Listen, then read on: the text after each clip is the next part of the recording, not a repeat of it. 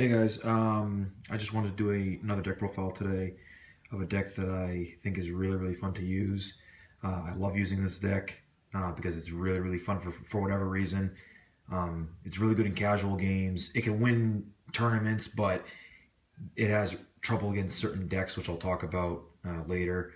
But uh, the basis behind this deck is it's pretty much a Blue Goku uh, toolbox Dragon Ball deck. And uh, as I go through the profile, you'll understand why it's called a toolbox deck. But as you can see, it's a blue tag team Goku. Um, I'm running that level two because if I get dug up to level two or somehow advance to level two, I want to drop back to level one because I need to stand at level one pretty much for the whole game. So that's why I run that level two. And now we'll talk about the defense of the deck. Now, as you can see, I don't run much physical defense, and that's because I run a lot of allies to absorb the stages. But even so, uh, through Blue Narrow Escape for energy block, you know, kind of a staple, has huge endurance. You got to run that. Uh, Blue Flight in a tag team deck. You get to banish allies you don't want to get other allies. You can tutor a Kami back. You can tutor a Chi Chi back. You can do whatever you want with that card. It's really, really good um, in this deck type. Blue Shifting Maneuver. Uh, I would say probably a staple in this deck. Omni Block has endurance, perfect for this build. Um, can help stop a, a, crucial sinister choke if it's going to hit me or who knows, but it's really good. And of course, time and Blue Farewell uh, to stop all attacks and stall the game out to uh, ball out. Um, some of my tech cards plus attacks, uh, Blue Fear to capture uh, Dragon Balls back or maybe kill their allies. It depends on the game state. Uh, if I need to capture Dragon Balls, it's one of my Dragon Ball captures. Um, what's really cool is um, I can bounce Kami to my hand with Goku level 1 and then use this just to discard discard the Kami from my hand to draw a card, and then I can use an overpowering attack to get it back. Um, but my attacks, um, Blue Terror, staple. Uh, three confrontation, you know, utility, three spheres. You got to run these. I mean, it stalls out the game, uh, prevents your opponent from doing anything crazy to you. Three wall breaker. I run this because Eric told me to. Um, no, it's really good. Against Namekian and Red, you want to keep them at low levels so they don't do anything crazy with you. Even against Sand, you don't want them to get to the high levels. So that's the only option I had. I mean, I would love to run uh, Blue Head Knock instead for the endurance, but Wallbreakers put in a lot of work. It's really good in this deck. Blue Betrayal to banish my opponent's stuff that I don't like. You, you kind of have to run that, unfortunately. Three overpowering attack to get allies back out. It's a good attack. Why not? Three optic blasts. Uh, this is a Dragon Ball deck, so I needed to maximize the amount of captures that I have against a Namekian deck, against a mirror match, against whatever I need. Um, that's the same reason I run Sinister Choke. So basically, my Dragon Ball captures are for a, you know attack utility cards is this, this, and this. Uh, Sinister Choke is really good because I'm not going to be entering combat much. Um, if my opponent plays more Dragon Balls than me at some point, uh, Sinister Choke is an automatic capture against almost every deck. That's why I run it. Optic Blast has endurance, um, so I have to, you know, maximize, run three of each of these. Seven Dragon Balls, got to run it, very shiny, all seven, that's the basis of the deck, with my Dragon Ball Victory. Again, back to Dragon Ball captures. Amongst the nine cards I already run to capture Dragon Balls, I run 12 right here, three Blue Trick.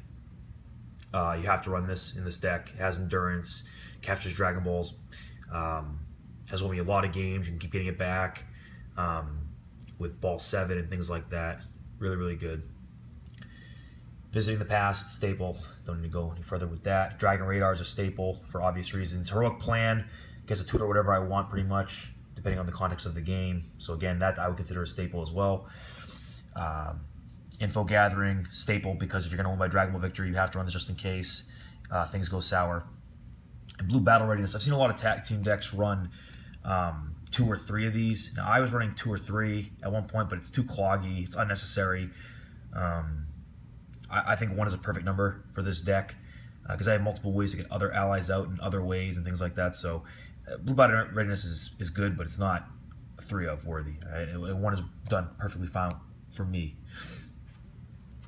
And the allies are on eight. And this is where the toolbox part comes in. Um, let me explain my choices behind these allies. Vegeta, I shouldn't have to explain because it's is broken. Um, him with Goku is just obvious synergy. You have to run it. It's an omni block, and you can keep bouncing them back and reusing them. Chi Chi's obvious, stops the physical. It's my main uh, physical tech against Red Ruthless and things like that. At the beginning of the game, you get Chi Chi out against a Red Ruthless deck. Um, depending, if it's a 17 deck, you, are to get something else, but uh, Chi Chi's helped a lot. Kami, basis of the deck, you know, keep bouncing him back with Goku. Uh, these three you have to run, and the rest of this is just tech. So, for example, Bulma, uh, of course, shuts off things I don't like.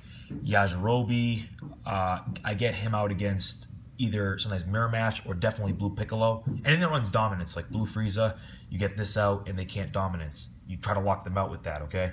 And if they banish Yajirobe with Blue Betrayal or whatever they use, Orange Stare Down, you can uh, use the Master to get him back and then hopefully tutor him back in some way with something else. Master Roshi, I would say, is a staple in this deck. You have to run him against 17 I'd play him first against a 17 deck, like a 17 Ruthless, because 17 can't search out the van. Um, if Master Roshi's out against Blue Ginyu tag team, you get Roshi out, he can't search. And he helps a lot. He helps a lot against Android 20. He, Android 20 can't search. Shuts off a lot of things. Krillin against Android 20 and Black decks gets rid of their smoothness drills, get rid of, gets rid of all their drills. What the heck? And Oolong. Uh, I know, kind of crazy for running this, but against the Mechian. Namekian can't reuse their Dragon Balls, can't you know uh, dink around with their balls, giggity. Um, so that's why I run it, and he's really good. So this is the deck, very shiny, um, has a lot of combos, very fun to use, and uh, let me know what you think. And yes, this deck is 100% foiled, except for the non-foil blue terror, which is you know, come on, so rare that I might as well run it. So very sexy deck, but it loses the Black Krillin, and it loses the. It has trouble against Black. Black just has a lot of tech against this deck. Black Krillin smashes this deck because of the infinite criticals at his level one and destructive disc. That's why I can't feel comfortable anymore running this in a in any ARG event, any regional, uh, because Black just runs through it. So, if you have any suggestions on how to get around Black Krillin, uh, let me know. Otherwise, uh, enjoy this deck. It's very very fun to use, and let me know what you think.